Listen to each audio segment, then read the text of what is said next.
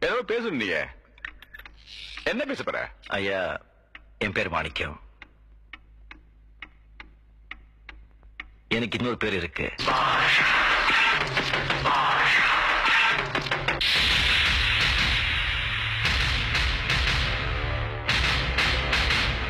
வெளியில சொல்லிட மாட்டீங்களே. நான் ஒரு தடவை சொன்னா நூறு தடவை சொன்ன மாதிரி.